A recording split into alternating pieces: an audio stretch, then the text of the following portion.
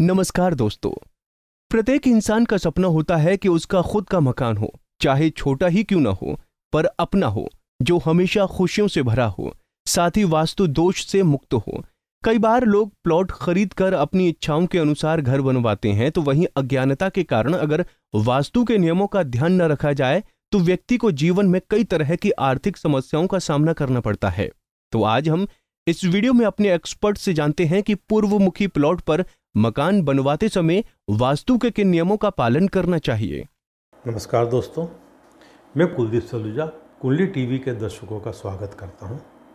दर्शकों, मैं इस वीडियो में बताऊँगा कि यदि आपका बड़े साइज़ का पूर्वमुखी प्लाट है तो उस पर घर का निर्माण कैसे करना चाहिए? घर का वास्तुनुकूल निर्माण। मान लीजिए ये आपका प्लाट है, और ये साइज़ कुछ भी हो सकता है यानी कि तीस, पचास, चालीस, साठ, पचास सौ, जो कोई भी साइज़ जो बड़ा साइज़ का प्लाट जहाँ आपके पास काफ़ी जगह खाली पड़ी हो, एक, और ये यूँ ना हो के ये लंबा यूँ भी हो सकता है। दिशाएँ तो ऐसी रहेंगी, पूरब, पश्चिम, उत्तर, दक्षिण, और सड़क पूर्व की ओर है, इसलिए हम पूर्व की प्लाट कहेंगे, कि पूर्व से आना जाना रहेगा आपका। गवर्नमेंट्स के नॉर्म्स होते हैं कि आपको दरवाज़ा वो बताते हैं कहाँ रखना है।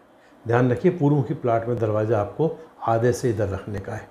इसके मतलब यानी कि तीस, इन तीन हिस्से कर ले तो पहले हिस्से में इधर रखना ईशान कोण की तरफ़। कोशिश करिए इधर रखिएगा।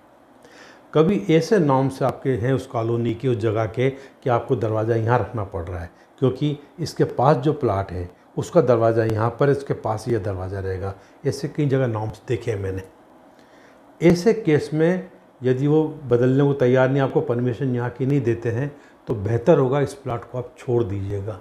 क्योंकि यदि आपने दरवाज़ा यहाँ रख के, कंपाउंड वाल का घर का रख के, यदि घर का निर्माण किया तो आपके घर में कलह रहेगी, आर्थिक स्थिति खराब रहेगी, बहुत विवाद रहेंगे। मत बनाइए ऐसे जगह पे मकान, जहाँ आपको मजबूरी हो दरवाज़ा यहाँ रखने की। एक।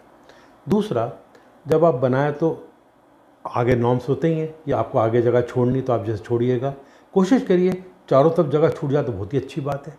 और मध्य में इस तरह कोने पर इस तरह घर बनाइएगा साउथ और वेस्ट की तरफ़ करते हुए एक घर को बाहर से इससे थोड़ा ऊँचा, डेढ़ दो फीट ऊँचा बनाइए, जो खुला भाग है।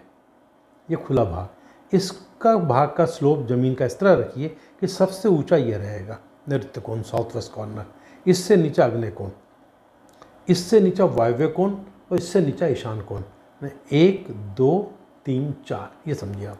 यानी कि बरसात आए और बरसात का पानी गिरे तो ये पानी यूँ बह के यूँ चला जाए, इधर से बह के यूँ चला जाए यूँ होकर इधर आ जाए। इस तरीके से आपको जगह का स्लोप करना है। यदि आपको लगता है कि हम भाई इस जगह को कवर करना चाहते हैं, उस केस में आप चाहें तो दक्षिण और पश्चिम में यदि इतना बड़ा प्लाट नहीं और आपको जिस चिपका के बनाना चाहते हैं तो आप इसको चिपका के बना सकते हैं। पर ध्यान रखिए, उस केस में आपको फ्लोर लेवल फिर इस घर के फ्लोर लेवल के बराबर रखना है। और कई बार लोग क्या करते हैं, पहले जगह छोड़ देते हैं, बाद में ज़रूरत पड़ने पर कोई टीन शेड डाल देता है, कोई प्लास्टिक चद शीट डाल देता है, कवर कर लेता है। यदि आपने उसको बनाया, खुला रखा, ये नीचा है, और आपने इसको बाद में कवर कर लिया। यदि आपने इसको कवर किया तो दक्षिण को कवर किया तो घर की महिलाओं का स्वास्थ्य खराब रहने लग जाएगा। पश्चिम किया तो पुरुषों का, और साथ में आर्थिक स्थिति बिगड़ेगी। ऐसे केस में यदि आप इसको कवर करते हैं, या शुरू में कवर कर लिया और घर के बराबर लेवल रखा तो ठीक है। और बाद में करा तो सबसे पहले ध्यान रखिए आपको कवर एरिया का फ्लोर लेवल घर के फ्लोर लेवल के बराबर कर लेना चाहिए। यह बहुत ज़रूरी है ठीक? और इसके बाद घर में आ, बाकी इसमें अंदर किचन और बाथरूम टॉयलेट कमरे कैसे बेडरूम कैसे बनाना उसकी जानकारी मैं अगले आने वाले वीडियो में आपको दूँगा। रही आपके यहाँ सीवरेज लाइन है तो ठीक है नहीं है तो सेफ्टी टैंक बनाना पड़ता है तो मध्य पूर्व बनाइएगा। मध्य उत्तर में बनाइएगा। और भूमिगत पानी की टंकी है, कुआ है, बोरवेल है, आपको जो ग्रे कलर की लाइन दी है, इसी में कहीं बनाने का है। जहाँ आपको सुविधा हो, यहाँ बनाइएगा। अंडरग्राउंड टैंक, बोरिंग, यहाँ करिए, यहाँ करिएगा। ध्यान रखिएगा, आपका जो प्लाट है, मान लीजिए पचास फीट है यूँ तो एक हिस्सा छोड़ दीजिए, सत्रह फीट, बीस फीट छोड़ के इधर मतलब बना लीजिएगा। और ऐसे ये तीस फीट है बाई दी वे तो आप दस फीट छोड़ के बीस फीट पर ये कर लीजिएगा। तो ये ध्यान रखिएगा, आपने इन नियमों का पालन करके घर का निर्माण किया तो निश्चित मानिए कि ऐसे घरों में रहने वाले सुखद और सरल जीवन बिताते हैं, पूरा परिवार तरक्की करता है और खुशहाल रहते हैं। मैं उम्मीद करता हूँ, कुंडली टीवी के दर्शकों को वीडियो पसंद आई होगी। आपकी वास्तु संबंधी कोई समस्या है तो आप कुंडली टीवी पर मैसेज कर सकते हैं। धन्यवाद।